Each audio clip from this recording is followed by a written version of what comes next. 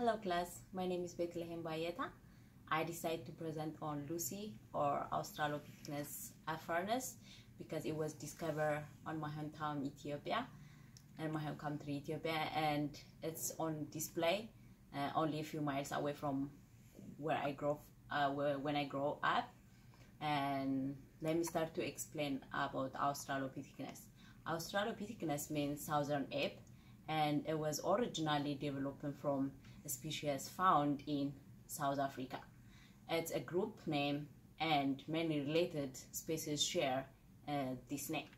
The Australopithecus were a group of human ancestors that lived between uh, that lived between about one and four million years ago during early Paleogenesis and Pleistocene era.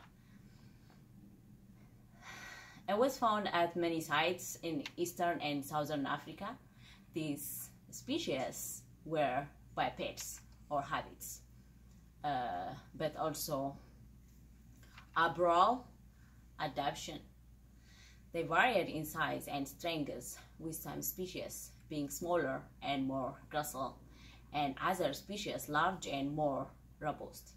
As a group, the Australopithecus generally had much smaller cranial capacity and body size than modern human, with small uh, canine, large premolars, and large molars. The later Australopithecus have notably large face, jaws, and teeth. In Ethiopia, there is a region called the Afar. This is where some of the first Australopithecus fossils were found.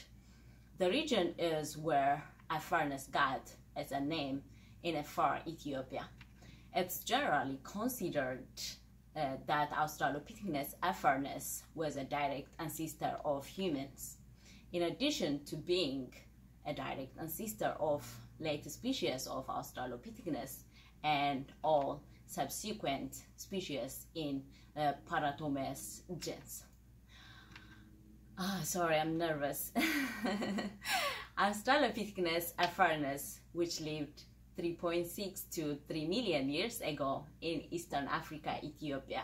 Afarensis has relatively small cranial capacity, around 350 to 500, uh, around 300, uh, 350 to 500 cubic centimeters, like modern non-human apes.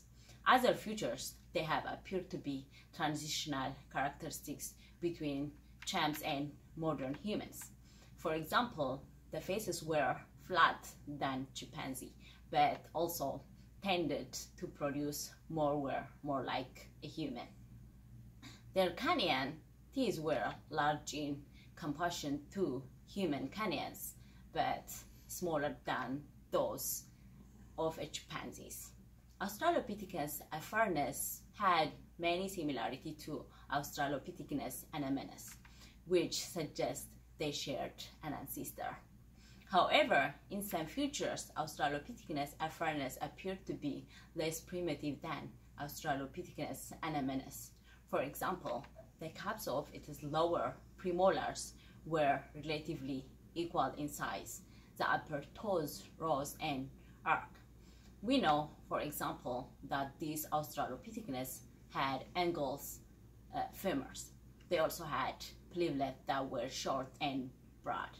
Although not as ball-shaped as the polyplus of humans.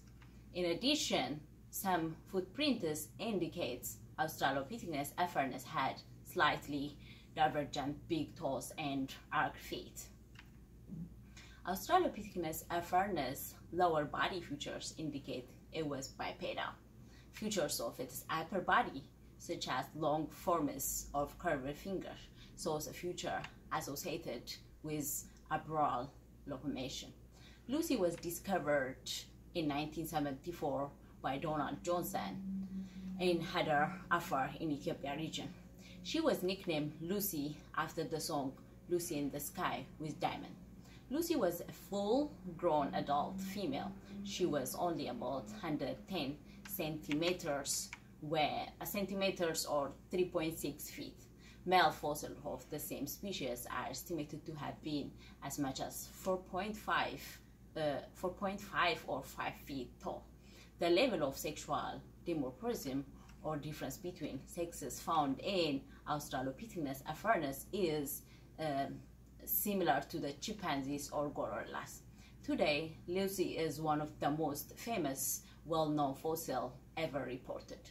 Some researchers suggest that Australopithecus afrinus might have polygynous social structure, meaning that uh, only male had many female partners. However, the other researchers suggest that there might have been less male to male competition due to smaller cranias.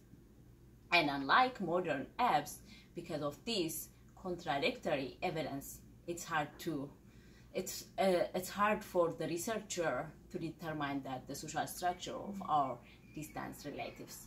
I had a chance to see Lucy when I was in Ethiopia, so that's more make me interested when I talk to Lucy. And thank you for listening to me.